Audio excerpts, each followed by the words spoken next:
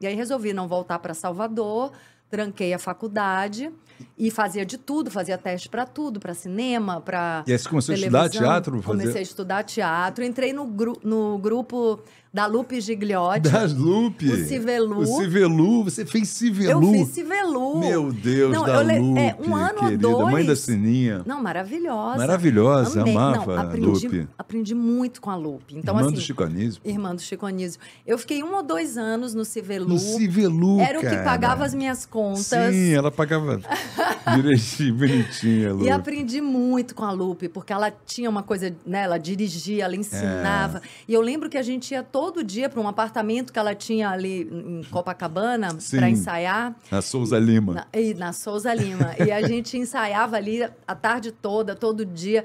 Aí eu comecei a pegar uns papéis menores, e aí fui crescendo, aí fui pegando né, papéis melhores, tudo peça infantil. Aham. E, nossa, foi incrível, aprendi muito com ela. Que legal. Aí comecei, aí comecei a, a fazer o show dos Trapalhões. Então, assim, tudo começou com uma coisa de dança, né? Aham. Aí fui dançar no show dos Trapalhões, fiquei também um ano com eles. Foi lá com, com o Didi e o Dedé? É. Nossa, foi muito Ô, Dá legal. pra- patrona. São demais, né? Foi muito legal, porque aí é, fiquei amiga dos quatro, né? E a gente fez uma. A gente fazia uma turnê pelo Brasil, a Pepsi, enfim, financiava. E a gente viajava todo fim de semana, mas como dançarina, não, não tava ainda. Não atuando. falava, né? É.